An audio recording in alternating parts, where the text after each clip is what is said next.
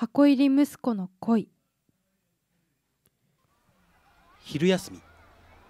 健太郎はいつものように時間きっかりに外へ出た。するとそこにお見合いをした奈穂子の母親の姿が。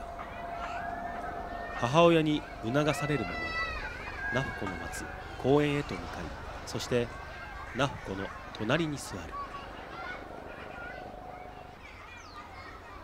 健太郎さん？こんにちは。いいお天気ですね。いいお天気です。健太郎さんお昼まだですよね？はい。いつもどうしてるんですか？いつもは家に帰って食べてるのですが最近はもっぱら吉牛です。吉牛？吉野家の牛丼です。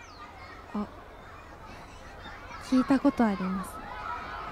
あまり女性が一人で行くお店ではないかもしれません。この近くですか？はい。私行ってみたい。いや直子さんの口に合うとは。安くて早くてうまいんです。健太郎さんがいつも食べてる牛丼食べてみたいんです。でも行きましょう。直子が立ち上がり健太郎も立ち上がる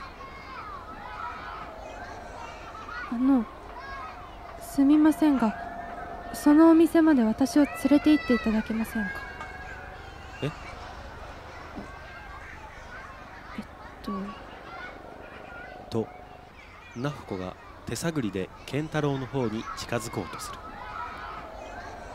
ああちょっと待っててください。え？健太郎を走りすぐそばの車で待っていた直子の母親のもとへどうしました？あの直子さんとお食事に行きたいのですが。もちろんいいですよ。手をつないでも。あ変な意味じゃなく。直子のもとに走って戻ってきた健太郎。だ大丈夫でした。行きましょうはい。手を差し出した健太郎。だが直子は健太郎の腕をつかむ。行きます。